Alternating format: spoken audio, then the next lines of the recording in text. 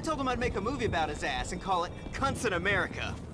But that will be the post-ironic use of the word cunt, both offensive and at the same time curiously anodyne. hey, what the fuck?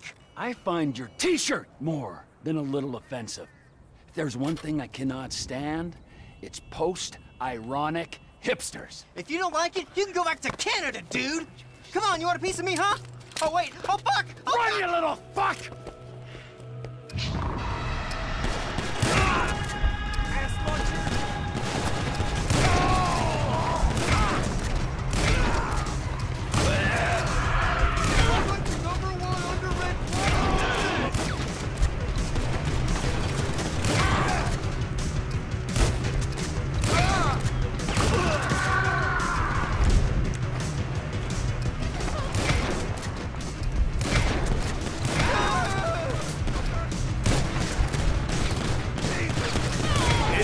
Countercultural enough for ya?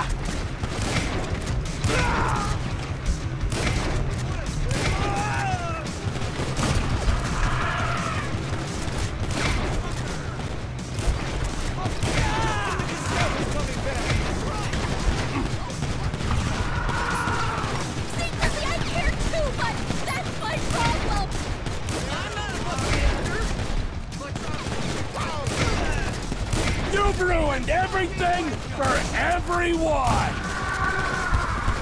Think about it. This is what the ruling classes want.